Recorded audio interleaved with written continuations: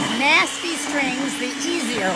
It literally cuts the job in half. Hi everybody, it's Babs. Did your mom ever tell you the do's and don'ts of pumpkin carving? Don't stand and carve your pumpkin. Sit. Just put them on your lap. Now time to cut the bottom of your pumpkin, not the top. Don't do this. Use your hand mixer instead. Get all those strings cleaned up. Your mixer did the hard work of loosening all those strings. When designing your pumpkin face, use a dry erasable red marker that you can get rid of the lines after you carve. If you don't want to struggle using a knife to carve your pumpkin, just use a soft-headed mallet and your cookie cutter and just push it right through. Remove all your red lines. Don't let all your work go to waste. Those kids want to enjoy these pumpkins. Take Vaseline and rub it on all the open cut surfaces. It'll keep your pumpkin moist, won't dry out as quickly, and it should last about one to two weeks. And if you want a beautifully scented jack-o'-lantern, try sprinkling some cinnamon right on the top. And over the candle she goes. And she smells delicious. Happy Halloween.